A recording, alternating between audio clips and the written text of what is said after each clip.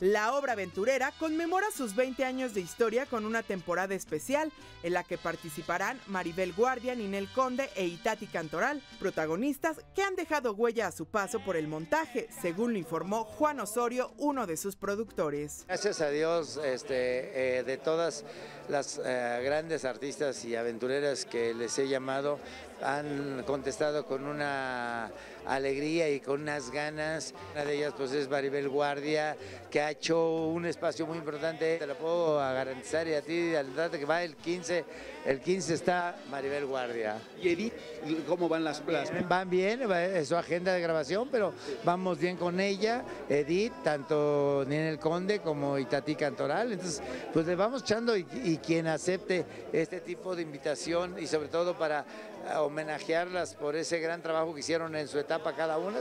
Nosotros felices de la vida porque eh, culminamos algo junto con doña Carmen Salinas. Carmen Salinas se reservó el nombre de su aventurera favorita. Decirte un nombre y, em, omitir otro nombre eh, sería horrible, pero todas hicieron de su parte lo mejor.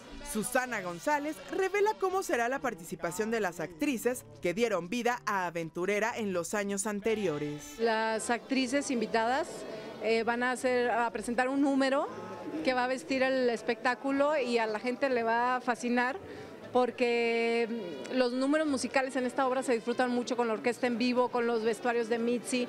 Eh, y pues sí, va a ser una sorpresa porque cada uno de estos días, que son cuatro días de funciones aquí en la Ciudad de México, 13, 14, 15 y 16 de febrero, va a estar una, una aventurera, una eh, actriz que interpretó el personaje de Elena Tejero durante estos 20 años. ¿Quieren estar al tanto de todas las exclusivas del medio del espectáculo? ¿Busca tener la información de los famosos de primera mano? Pues suscríbase a nuestro canal de YouTube. Solo tienes que darle clic aquí.